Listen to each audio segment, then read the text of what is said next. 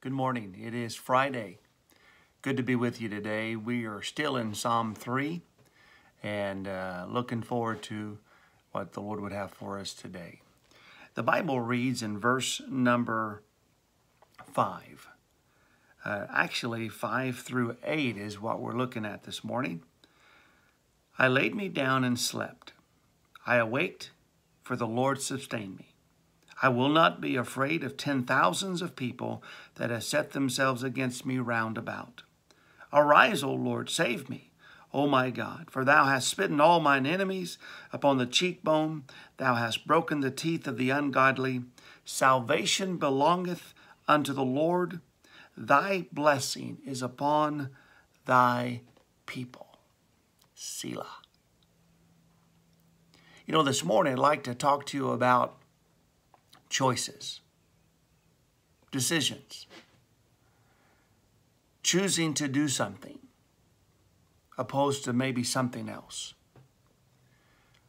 David here this morning, he makes some choices that I think are such a blessing.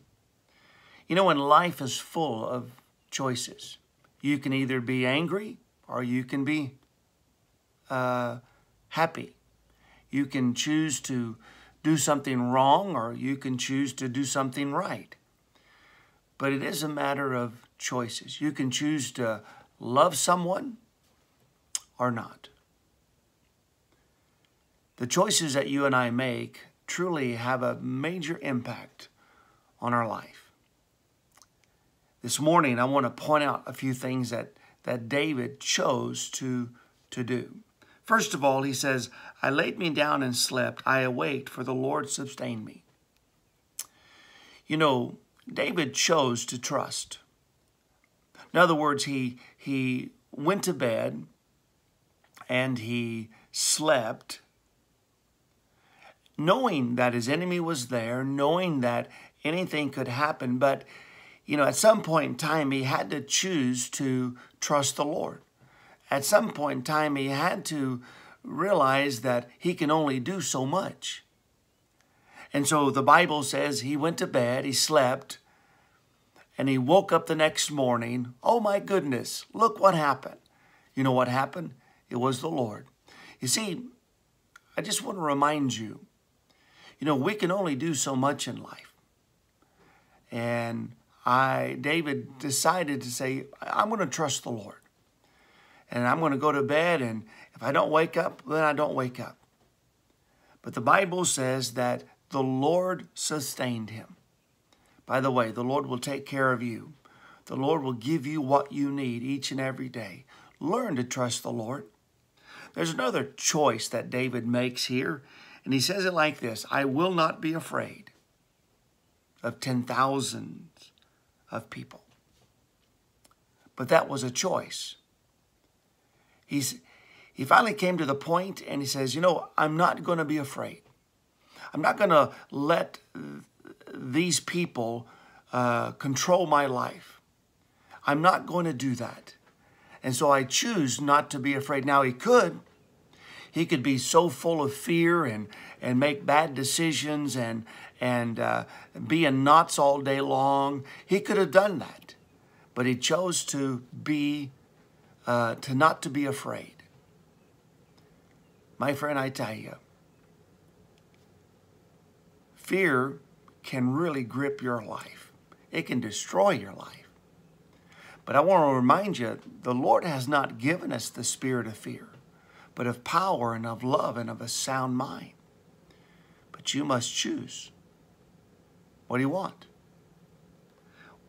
Well, the Bible goes on and says that the Lord or David, he, he prays to the Lord that, that God would save him, but he chooses to remember.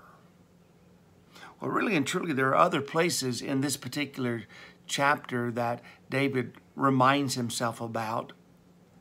But he says in verse number seven, Arise, O Lord, save me, O my God, for thou hast smitten all mine enemies upon the cheekbone. Thou hast broken the teeth of the ungodly.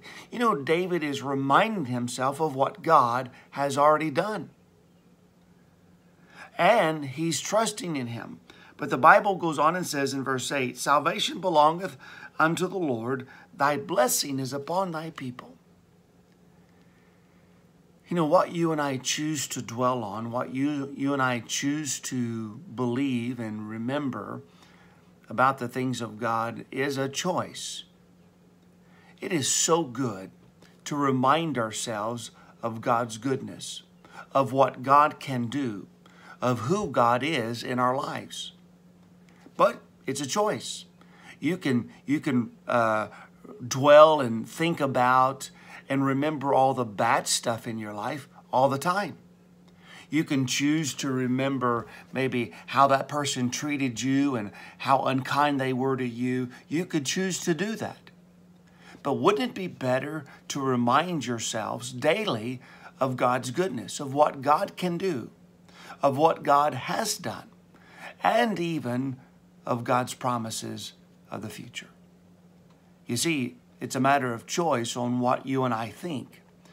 I tell you, I struggle with that often, and it is a common and it is a daily exercise for myself to choose to think of the good things instead of the bad.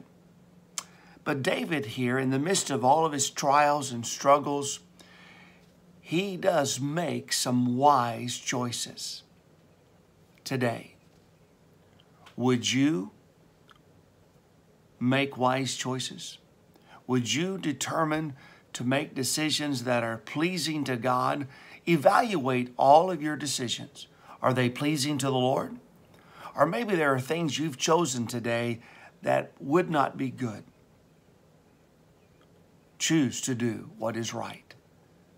Don't let your heart and your mind be corrupted with the evil and the, and the, and the bad things of this world, but choose the Lord. Father, thank you today that, Lord, I slept last night and I woke up this morning. And Lord, it's because of you. I thank you for that. And Lord, you are the God that sustains me. You are uh, the God that, that keeps me going. You are the God that gives me what I need. Thank you. And Lord, help us to be not to be afraid, to choose not to give in to fear. But Lord, help us to choose to love, to, to trust you. And Lord, thank you for who you are. Bless us, I pray today. In Jesus' name, amen. Oh, I could have gone on and on and on in my prayer, but we serve a wonderful God. And you have a wonderful day today. God bless you.